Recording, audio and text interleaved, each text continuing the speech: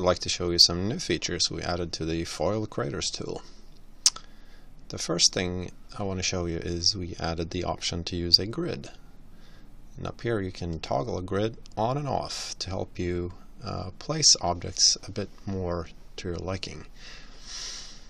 This works if you zoom in and out and uh, should improve um, some lining up of objects that might sometimes otherwise be a bit tricky.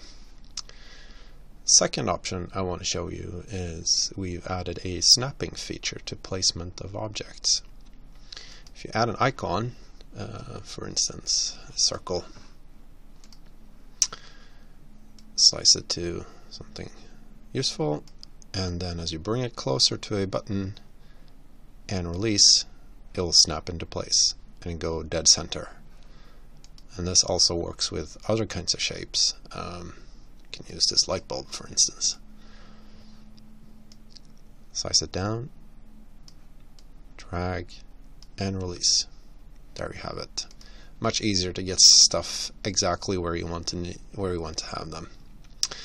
Um, last feature for this update is that we've added a uh, functionality to preview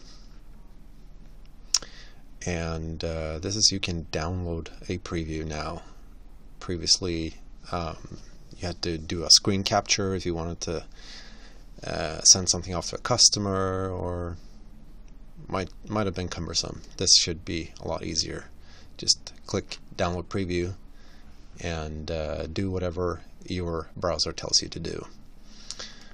Um, that was it for this week's update. We'll soon add some more updates uh, after feedback we get from you.